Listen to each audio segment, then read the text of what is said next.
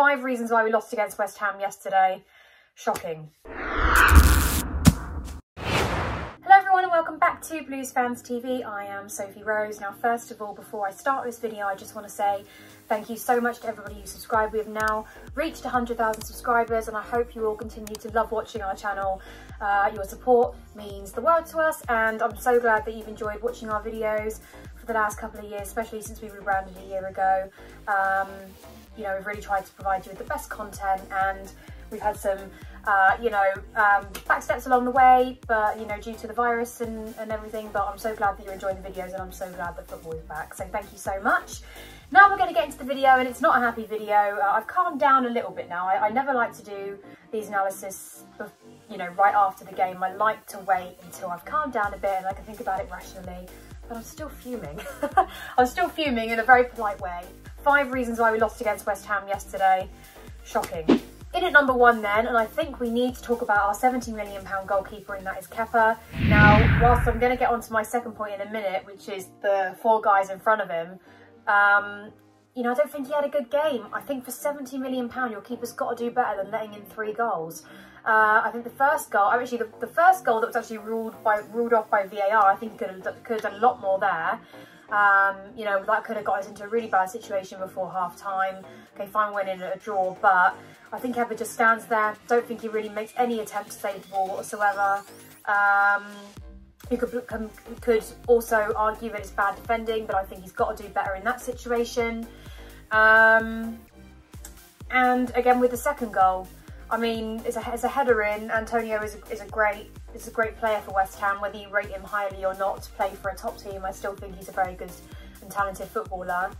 Um, yeah, I just think Kev, Kev could have done better. You might disagree with me on that. You may think, oh no, it was, it was the back four's fault and stuff and he could have done. But I think that, you know, when you're a goalkeeper worth 70 million, you're letting in three goals. Uh, something's gone wrong there. Uh, technically, you let in four goals uh, if it wasn't ruled off for VAR, but even that VAR was, was very, very slim. I mean, I actually agree with the decision for once. I think if that was Chelsea, we wouldn't have got the goal either.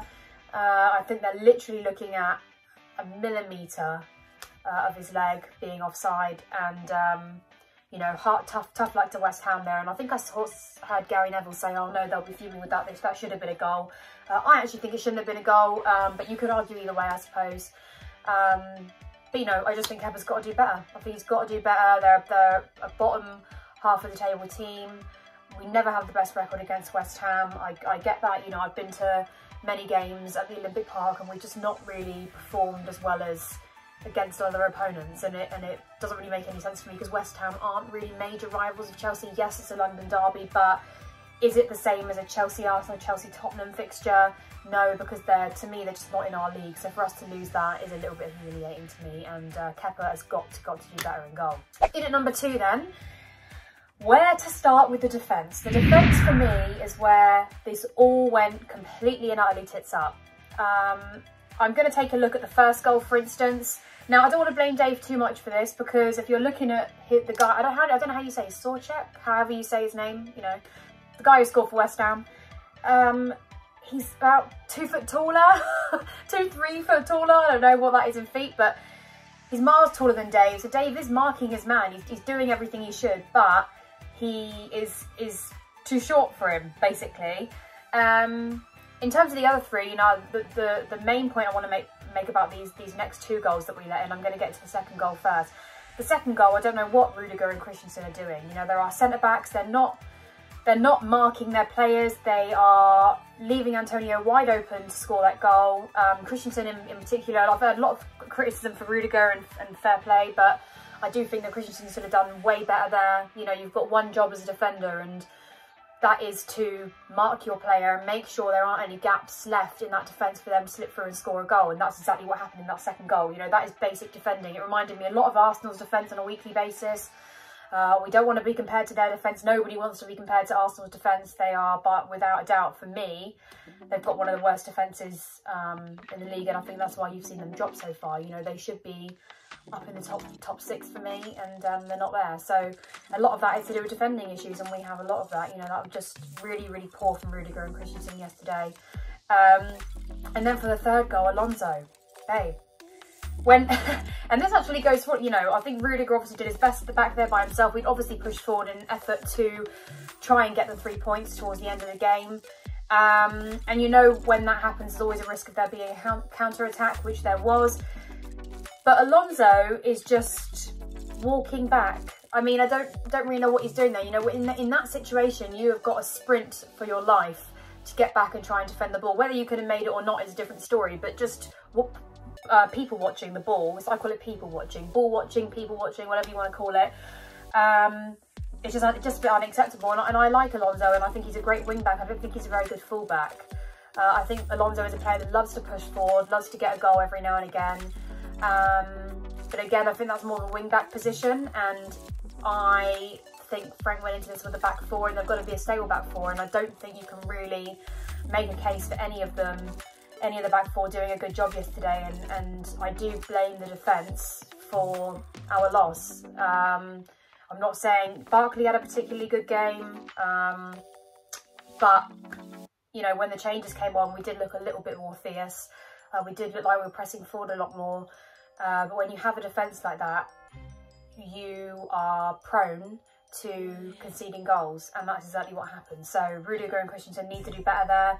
Uh, I'd be very surprised if Christensen was in the team next next week, uh, this week, um, for the next game. I if Frank does what he says he does and plays players based on merit, there's no way you can put him back in the team after that. Um, you know, I'm being extra critical because this is a West Ham side. This is not a, you know, rival of, this is not a Manchester United where we're, we're very, very close in the table together. You know, that, those three goals cost us the chance to go top three yesterday. Instead, we didn't even come away with a draw. We came away with zero points which again means we've got to win every game now. It just puts extra pressure on us. So we could have had a nice cushion. It could have put a lot more pressure on United and Leicester to do better. I think in football mentality is a huge part and that would have put them under pressure and that would have worried them a little bit. And now we've just made them think that, oh, Chelsea are always going to slip up, slip up, so, you know, no problem. It's West Ham, guys. We've got to do better. So poor defending there. Not happy with Rudiger. Not happy with Christensen. Dave, it would be great if you could be a bit taller, but we can't do anything about that. Um, Alonso, your, your work ethic, your work rate needs to improve. Focus. That would be good. Okay, number three then. I'm going to go into our front. Uh, I'm not really going to talk about this too much because I feel like we've already been through it a thousand million times. We know that we're awaiting our new signer Werner to come in um, and, and, and sort of improve things there. But at the end of the day, we haven't really got a see all front. Tammy, I don't think, did much all game. Um, you know, even when he tried to, to do a little bit defending, and I'm all for strikers getting back and getting on the goal line and, and doing exactly what he did. Uh, but he only had to stand there. You know, he's a very, I don't know how tall Tammy is. He's very, very tall, double the size of me probably. I'm 5'5". Well, maybe not double the size of me, but he's a tall lad. He only had to stand there. I don't know why he's trying to kick the ball into the air. I think Lauren said like a scissor kick. Yeah, like it's a bit weird. Um, but you know, he didn't really do much. He didn't really, um, maybe that's because he's not really getting service. Um, but I think he had quite a lot of service in the, it, you know, Willian made a lot of crosses in. Um, we were crossing the ball into the box continuously. Um, okay, fine, West Ham defended quite well, but when you're a Chelsea striker, you need to be able to figure out a way to get past to get past those defenders and use your initiative. You know, you need to have a bit of aggression. Chelsea have always done well with having a very aggressive striker. You know, I think in Didier Drogba, we had him, he'd take a chance, he could, you know, almost read where the ball was coming in and move himself into space. I don't really see that from Tammy.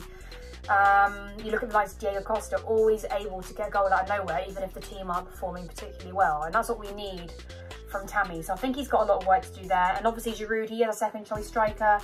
Um, I'm not too critical of him sometimes because I think he everybody else's play improves when he's on the pitch. Um, he's able to link up with players a lot better than some of our forwards, particularly I probably think better than Tammy. Um, but he didn't really do much either. So yeah, our, our situation is something that's continuous and um, I'm not going to dwell on that too much, but yeah, it wasn't, it wasn't anything I saw that was um, particularly amazing yesterday in either of our two choice strikers.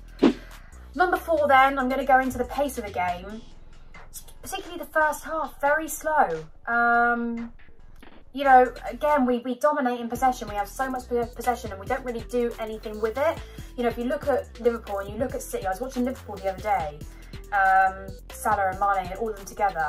Such, such fast-paced football, you know, you can see why they've won the league by a mile. And I just don't really see that in us. I see a lot of players maybe a little bit unsure of themselves. Um, not as confident. I don't know. I don't really know what it is, but it make, doesn't make no difference for me. It makes no sense to me because we're playing against West Ham. You know, you expect when you see a performance like we did against City to come and then play like that against West Ham, who are miles apart literally on the table, um, is disappointing and it's very, very confusing for me. And that can only come from mentality. I'll get that into that in point five. But yeah, we play very slow football sometimes. Nothing really that's that creative. Um, and yeah, a bit disappointing um, from that from that perspective. Like I said, when Frank made the substitutions, um, when Loftus Cheek came on, when Mason Mount came on, um, we sort of seemed to pick up the pace a little bit, fresh legs maybe, but nothing really that I saw was anything to rave about, to be honest. Okay, in, in a point five, and it sort of ties nicely into this one, is the mentality of our players. Um, I think we tend to switch off in games because I think I was watching Frank's post-match review and, you know, he sort of hit the nail on the head and was, was sort of saying everything I was thinking. You know, we have the chance to go go top three and every time Chelsea have the chance to close the gap because of a poor result from another team of one of our competitors, for some reason we don't seem to take it. Is that because they feel more relaxed? Is that because it's too much pressure? You know, the complete opposite end of the scale, I don't know. But it would have been so helpful to us to win that game yesterday and it was easily doable. And for me I felt like a lot of the players switched off during the game especially defence. You know if you look at the second goal that was a complete and utter disgrace to Chelsea Football Club. It was basically two of our centre backs completely switching off completely dropping the ball literally and um, causing us another goal. And, and making our, our climb into top four just that much harder. So I think the mentality of the players needs to improve because I believe they're all really talented players, but we are missing those crucial signings. And I, and I want to leave this on a good note, at least. I thought Pulisic was really good yesterday. Um, I thought he had a fantastic game. Um, I think we can really see the quality that's going to come out in him next season when we have our signings. And I think him, Ziyech and Werner together, I think that would be an amazing um, amazing partnership all round. So I'm really looking forward to that. That's you know one highlight. Uh, but again, that's next season. So if we if we lose another game, I was talking to all my Chelsea mates, and we are all fuming. Nearly swore then. We're all fuming after that game because just a waste, isn't it? It's, it's a waste of an opportunity to close the gap, to to seal top four, to not seal top four, but you know make it a lot easier on ourselves. Um, and you know to, to move further away from our competition which is Man United. And and now you know Leicester losing against Everton thank you Everton thank you Carlo uh, was just a massive opportunity for us. That's all I can say. And just really really disappointed me that we come out and we played like that. And throughout the whole game I was just really really mad because I was seeing some football that I don't think we should play at Chelsea Football Club. I think we're far better than that.